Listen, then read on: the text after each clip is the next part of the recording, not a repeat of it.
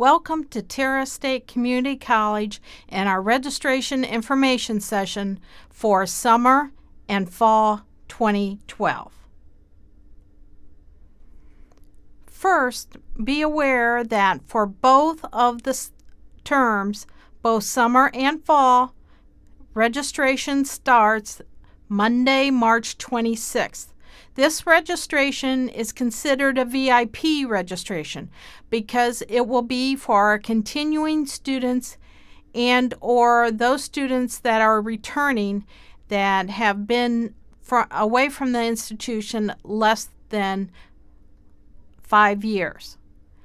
The second registration will start for all students, and that will be on Tuesday, April 3rd. This will include our new as well as older returning students. For summer 2012, please note we have four different sessions within the term. The 10 week session starts Monday, May 21st and goes through Monday, July 30th. The 8 week session is Monday, June 4th through Monday, July 30th. And then we have two shortened five week sessions. The first starts Monday, May 21st through Monday, June 25th. And the second starts Tuesday, June 26th through Monday, July 30th.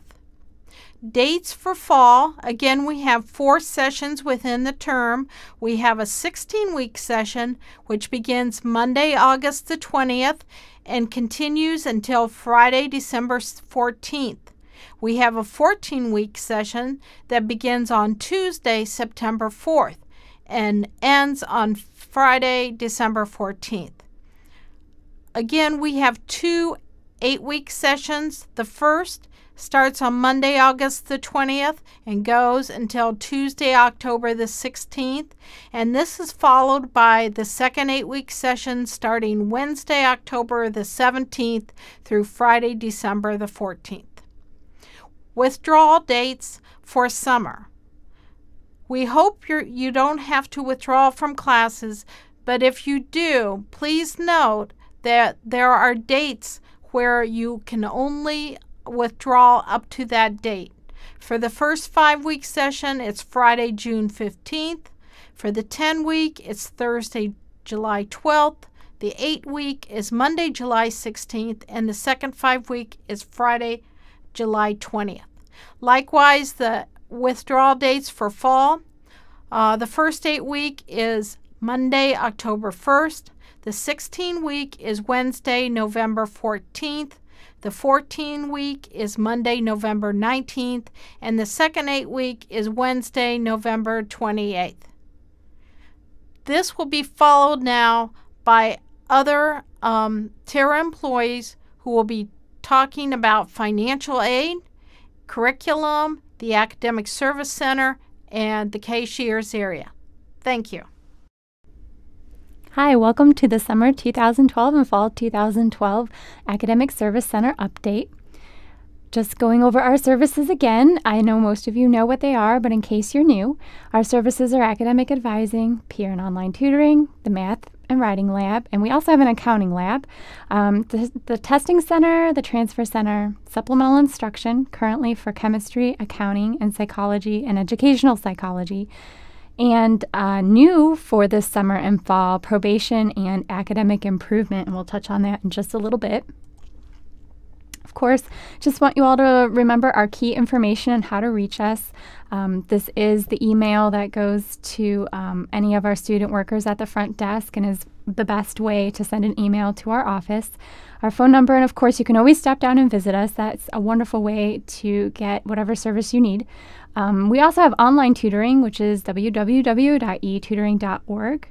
And um, please utilize that service. We have um, math, statistics, biology, accounting, um, and writing help within that. So, just to kind of go over our services, of course, academic advising, you can get advice on your major. If you're having some issues inside or outside of class, or you see that um, a student in your class is having some issues, please suggest that they come visit us in the academic advising area of the Academic Service Center. The peer tutoring is one on one tutoring in any subject area. So, whether you need some help in a class or you're a faculty member and see that a student might need some help, or if you're doing really well in a class or had done well in the past and would like to tutor for us, um, just come see us, stop by, and we'll get you all set up. Um, but you can also do all of that through your student portal uh, at www.myterra.edu. Um, every service in the Academic Service Center um, can take walk ins, but we really do encourage you to make an appointment. That way, we can provide you with the service in the amount of time uh, where we can give you a quality um, service. So, please make an appointment if you are able.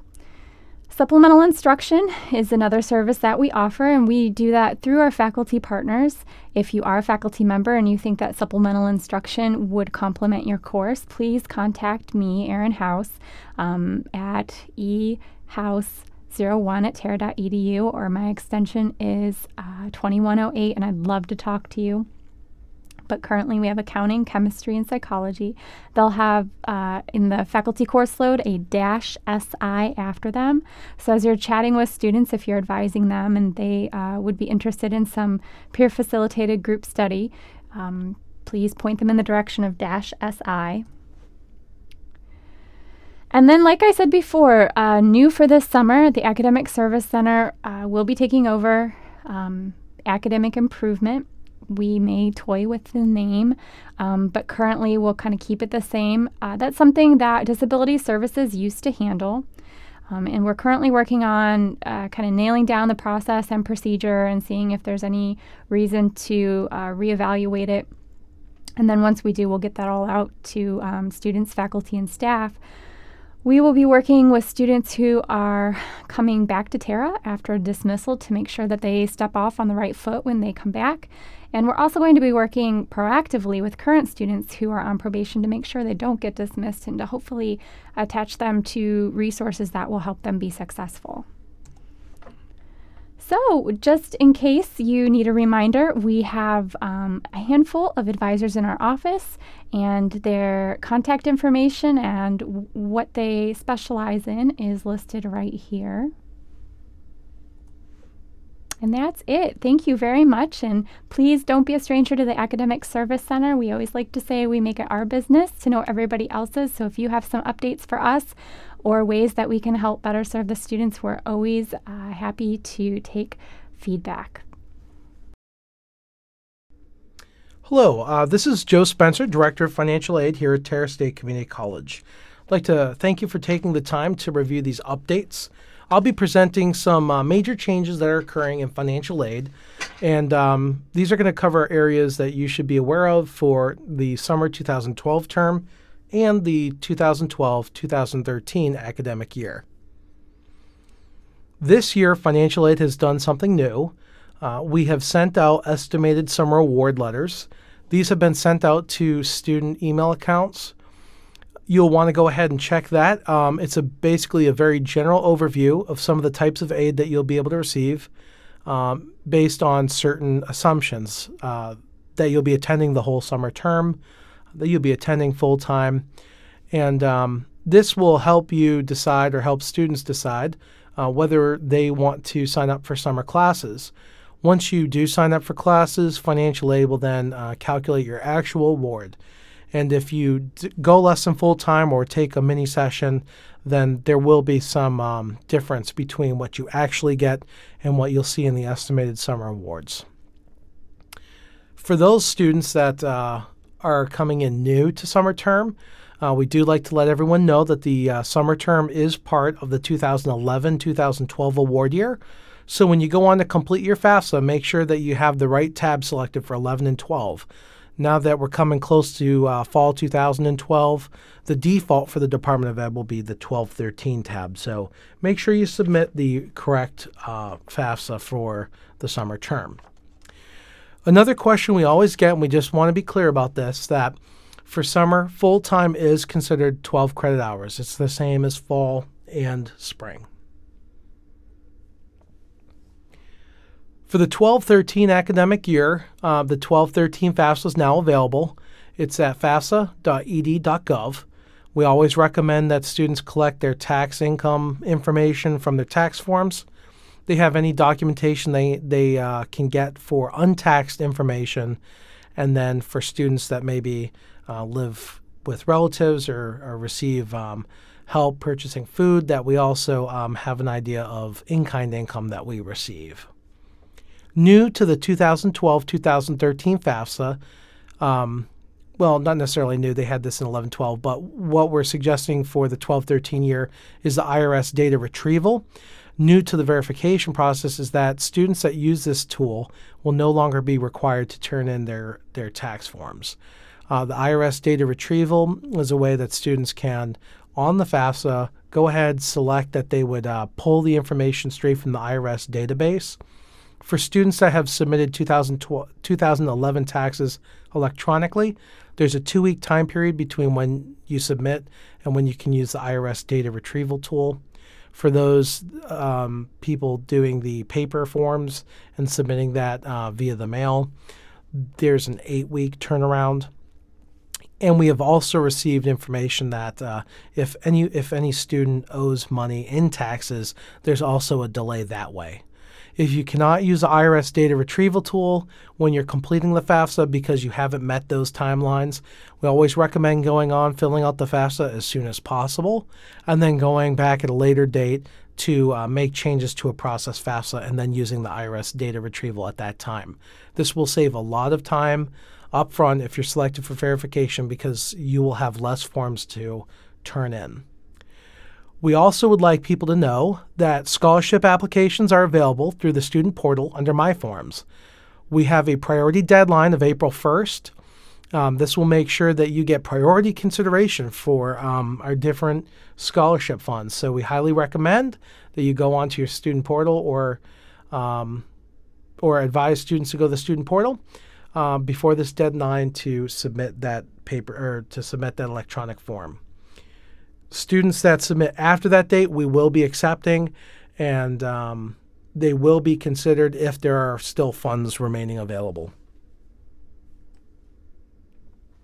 There are many new changes to the 1213 um, financial aid rules. Um, one such area is eligibility. Starting July 1st, 2012, you need to have completed a high school diploma, GED, or have completed homeschooling to be eligible for financial aid.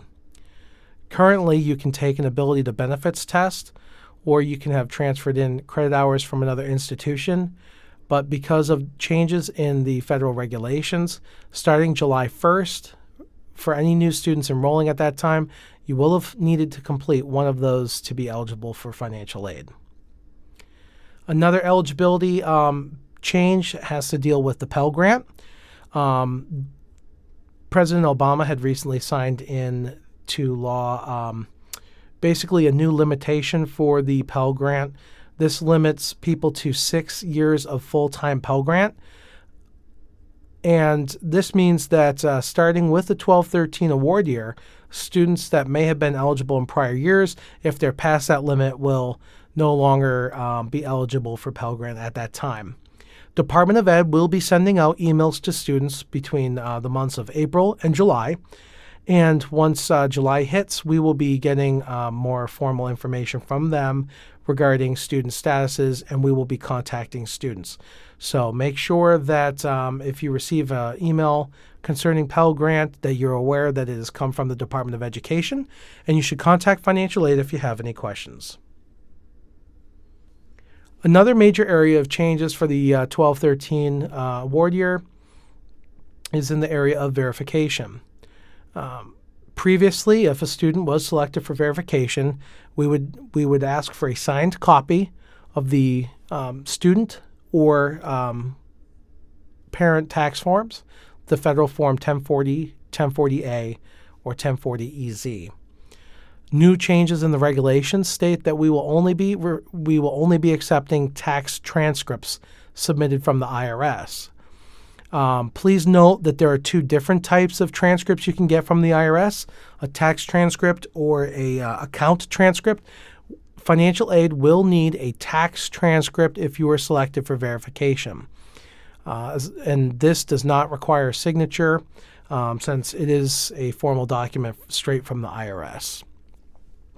In addition, uh, the Department of Education has changed regulations on um, receiving verification for um, people that receive food stamp help and for people that make payments of child support. Um, previously, we required no type of documentation if you were a food stamp recipient. If you select that you um, ha- receive food stamps on the FAFSA, uh, we are going to uh, be forced to require that students go to Ohio Job and Family Services to obtain some documentation um, that they received this benefit. Prior to this uh, 12 13 academic year, we only required uh, people who received payment of child support to um, submit documentation for uh, how much they've received. Department of Education is now requiring that we collect similar information for people that make payments for child support. This information is also available at Ohio Job and Family Services. The cashier's office has several important dates throughout the term. Payment due dates for summer 2012. Payment is due the first Friday of the term. The 10 and first five week sessions are due on May 25th. Eight week session payment is due on June 8th, and the second five week session is due on June 29th. Payment plans are available for spring uh, term, and they're split into three payments uh, for the 10 and 8 week sessions. Those payments are due May 25th, June 25th, and July 25th. Payment plans are not available for the five week session.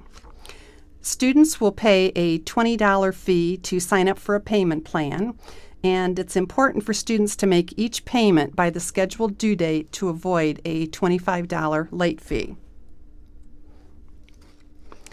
Students with available financial aid will have book accounts in the college store on the following dates uh, May 14th through June 15th for the 10, 8, and first five week sessions.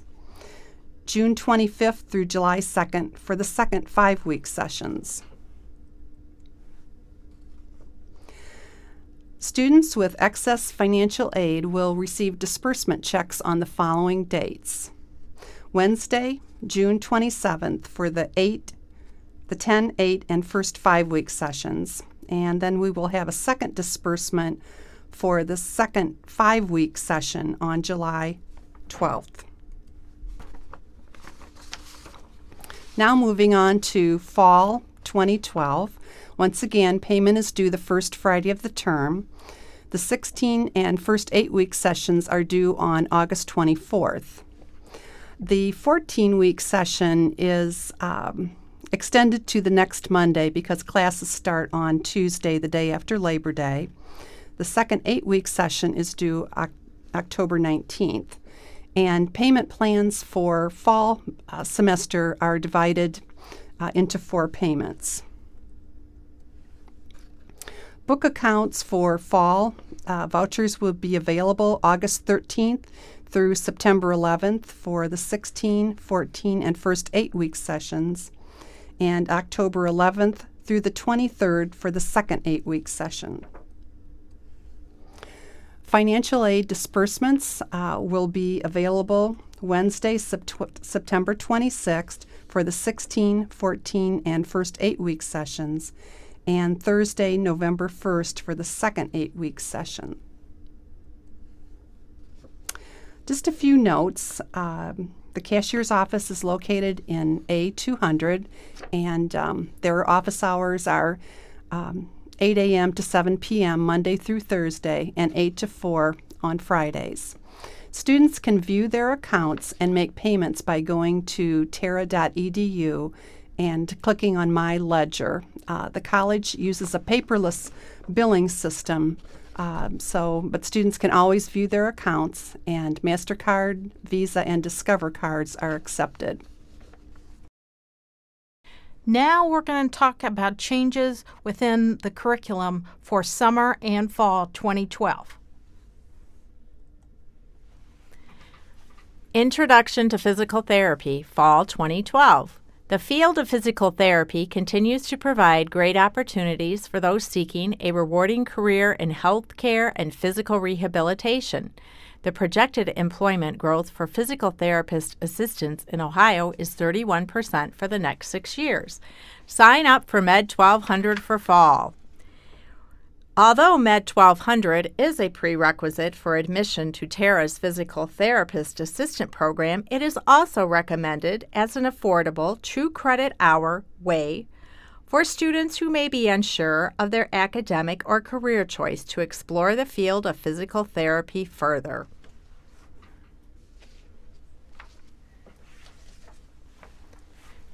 Creative Writing, Fall 2012.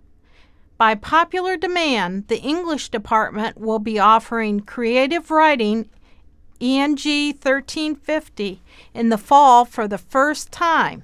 The class will run on Monday Wednesdays from 3:30 to 4:50 p.m. Don't miss adding this popular class to your fall 2012 schedule. CIT 1090 name change. Please note that Computer Fundamentals had changed its name to Digital Literacy and Applications, but it is still three credit hours. No change in content. Don't be confused with this change. Sign up soon.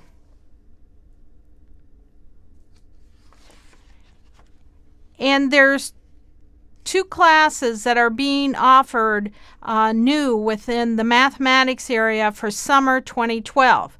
The first is Calculus and Analytic Geometry 3, Math 2530. It's part of our traditional calculus sequence. Topics covered include a study of vectors, vector calculus, analytic geometry in space, differential calculus of several variables, partial derivatives, and multiple integrals and applications. Calculus 3 is useful for those wishing to further their studies in the fields of engineering, mathematics, physics, or a career in meteorology. This class will run for eight weeks starting on June 4th. Sign up starting March 26th. Statistics or Math 2010 will be offered either online or in the classroom. This four credit hour course will begin on May 21st and runs for 10 weeks.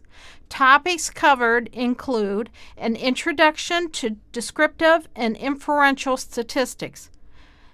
Um, also, calculation of measures of central tendency and dispersion, calculation of event probability, calculations using counting techniques, including combinations and permutations, study of binomial, Poisson, and normal probability distributions, study of frequency and relative frequency distributions, population parameter estimation, confidence interval estimation, hypotheses testing, analysis of variation, chi square analysis, and quality control.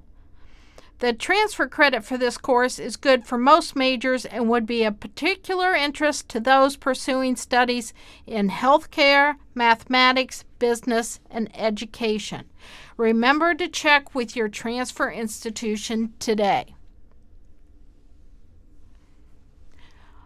Corrections and Criminology classes new for fall 2012 both LEN 2200 Corrections and LEN 2400 Criminology will be offered for the first time this fall. They are second year approved TAG courses in the criminal justice and police science majors. Online day and evening traditional classes are available. Sign up begins March 26th. The following credit classes are being offered from Health and Physical Education, revamped 212. This is a one credit hour. It is a 16 week circuit style class that utilizes hand weights, bands, steps, stability balls, medicine balls, and more. Enjoy a fun, fast paced workout focusing on weight loss while improving overall health. Students will explore the role of different nutrients and exercise for health and well being. Students will participate in weekly weigh ins and learn about basic nutritional information such as essential nutrients, nutritional claims, sorting fact from fiction, and food labels. This class is going to be offered Monday and Wednesdays from 5 to 5 p.m. Zumba is a one credit hour. This course teaches students the basics of Zumba. Zumba is an exhilarating, effective, easy to follow, Latin inspired, calorie burning dance exercise. Zumba combines fast and slow rhythms that tone and sculpt the body because it utilizes a balanced blend of cardio and muscle toning techniques. Students will learn the three basic concepts of Zumba, the muscles used during this type of dancing, and the basic steps of Zumba. This class is held on Wednesdays from 6 to 7:40 p.m. Running and walking, which is also a 1 credit hour course. This course will develop the proper techniques for walking and running. Students will enhance their walking and running performance. Students will understand the proper gait for both walking and running, as well as how the mind and body can benefit from a walk run program. And this course is held on Tuesdays and Thursdays from 12:30 to 1:30 p.m. Boot camp. Learn how a boot camp class is set up to utilize the body's energy systems and gain knowledge of how to develop a multi leveled boot camp class. Boot camp is a class that combines power, function, agility, speed, cardio, and interval training. Students will discover how the body systems work at different intensities and how different muscles are utilized in the different planes of movement. Students will be in a learning atmosphere while having fun. This class is held on Tuesdays and Thursdays from 9:30 to 10:20 a.m. and is also a 1 credit hour course. Yoga. This can help you feel healthier, to feel less beaten down by stress, to feel more alert and focused, to sleep better, to gain muscle tone and flexibility, and to feel more alive and energetic. Emphasis is on the different backgrounds of yoga. From beginner to immediate, any person can benefit from learning the significance of the poses to how yoga flows. Find out how to balance the mind, body, and spirit. Gain knowledge of yoga sequences, progressions, movements, breathing, and much more in this class. This class is held on Tuesdays and Thursdays from 11 to 11:50 a.m. Cycle is a 1 credit hour class as well. In this course, the student will understand and demonstrate the proper fit for an indoor cycling bike. The basics of a cycling class will be taught and implemented. Students will be able to recognize the different fitness intensities by learning about their target heart rate and gauging their target heart rate with the use of a heart rate monitor. They will know how to train the correct heart rate for their age and body type. This course is held on Monday and Wednesdays from 11 to 11:50 a.m. Don't forget, sign up early to get these and other courses. Sign up begins March 26th.